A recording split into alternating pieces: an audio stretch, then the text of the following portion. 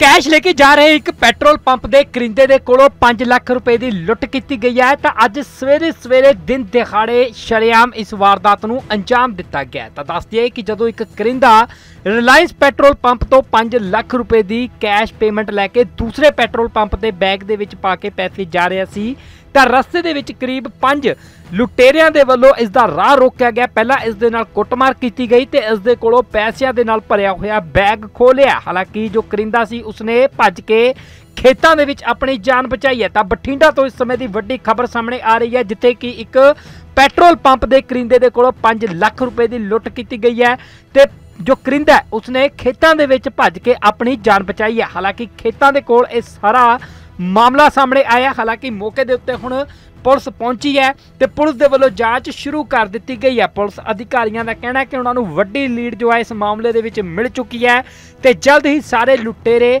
Trace ਕਰ ਲਏ ਜਾਣਗੇ, ਗ੍ਰਿਫਤਾਰ ਕੀ- ਕਰ ਲਏ ਜਾਣਗੇ। ਤਾਂ ਪੁਲਿਸ ਦੇ ਵੱਲੋਂ ਵੀ ਵੱਡਾ ਦਾਅਵਾ ਕੀਤਾ ਜਾ ਰਿਹਾ ਹੈ। ਤਾਂ ਬਠਿੰਡਾ ਤੋਂ ਇਹ ਮਾਮਲਾ ਸਾਹਮਣੇ ਆਇਆ ਹੈ।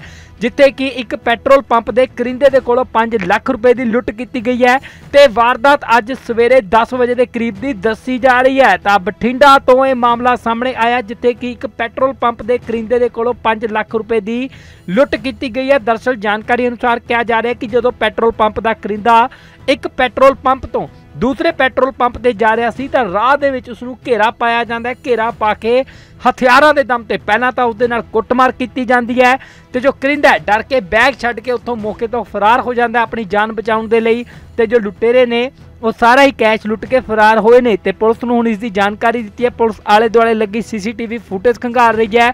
ਉੱਥੇ ਪੁਲਿਸ ਦੇ ਲਈ ਵੀ ਇਹ ਹੁਣ ਚੁਣੌਤੀਪੂਰਨ ਬਣਦਾ ਜਾ ਰਿਹਾ ਕਿਉਂਕਿ ਨਾ ਤਾਂ ਪੁਲਿਸ ਦੇ ਕੋਲ ਕੋਈ ਆਲੇ ਦੁਆਲੇ ਦੀ ਸੀਸੀਟੀਵੀ ਹੈ ਫਿਲਹਾਲ ਰਸਤੇ ਦੇ ਵਿੱਚ ਜੋ ਲੋਕੇਸ਼ਨਸ ਨੇ, ਉਹਨਾਂ ਨੂੰ ਟਰੇਸ ਕਰਨ ਦੀ ਕੋਸ਼ਿਸ਼ ਕੀਤੀ ਜਾ ਰਹੀ ਹਾਲਾਂਕਿ ਪੁਲਿਸ ਅਫਸਰਾਂ ਦਾ ਦਾਅਵਾ ਹੈ ਕਿ ਜੋ ਪਹਿਲੀ ਲੀਡ ਹੈ, ਉਹਨਾਂ ਨੂੰ ਮਿਲ ਚੁੱਕੀ ਹੈ ਤੇ ਜਲਦ ਹੀ ਇਹ ਲੁਟੇਰੇ ਕਾਬੂ ਕਰ ਲਏ ਜਾਣਗੇ।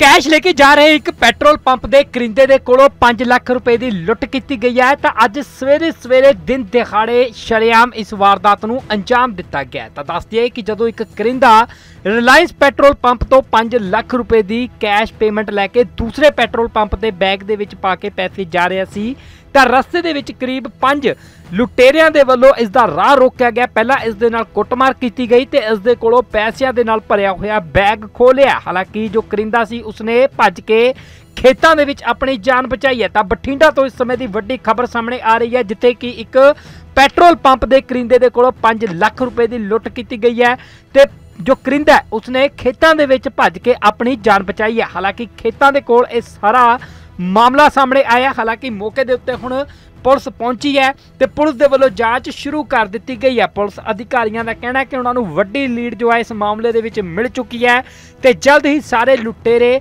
ਟਰੇਸ ਕਰ ਲਏ ਜਾਣਗੇ, ਗ੍ਰਿਫਤਾਰ ਕੀ- ਕਰ ਲਏ ਜਾਣਗੇ। ਤਾਂ ਪੁਲਿਸ ਦੇ ਵੱਲੋਂ ਵੀ ਵੱਡਾ ਦਾਅਵਾ ਕੀਤਾ ਜਾ ਰਿਹਾ ਹੈ। ਤਾਂ ਬਠਿੰਡਾ ਤੋਂ ਇਹ ਮਾਮਲਾ ਸਾਹਮਣੇ ਆਇਆ ਹੈ।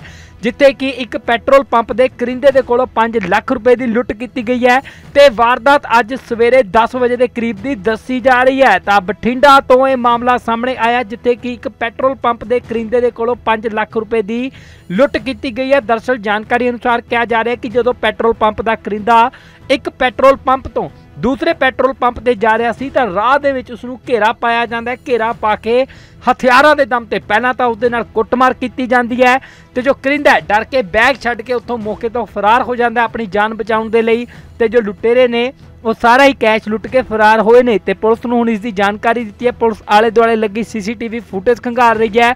ਉੱਥੇ ਪੁਲਿਸ ਦੇ ਲਈ ਵੀ ਇਹ ਹੁਣ ਚੁਣੌਤੀਪੂਰਨ ਬਣਦਾ ਜਾ ਰਿਹਾ ਕਿਉਂਕਿ ਨਾ ਤਾਂ ਪੁਲਿਸ ਦੇ ਕੋਲ ਕੋਈ ਆਲੇ ਦੁਆਲੇ ਦੀ ਸੀਸੀਟੀਵੀ ਹੈ ਫਿਲਹਾਲ ਰਸਤੇ ਦੇ ਵਿੱਚ ਜੋ ਲੋਕੇਸ਼ਨਸ ਨੇ, ਉਹਨਾਂ ਨੂੰ ਟਰੇਸ ਕਰਨ ਦੀ ਕੋਸ਼ਿਸ਼ ਕੀਤੀ ਜਾ ਰਹੀ ਹਾਲਾਂਕਿ ਪੁਲਿਸ ਅਫਸਰਾਂ ਦਾ ਦਾਅਵਾ ਹੈ ਕਿ ਜੋ ਪਹਿਲੀ ਲੀਡ ਹੈ, ਉਹਨਾਂ ਨੂੰ ਮਿਲ ਚੁੱਕੀ ਹੈ ਤੇ ਜਲਦ ਹੀ ਇਹ ਲੁਟੇਰੇ ਕਾਬੂ ਕਰ ਲਏ ਜਾਣਗੇ।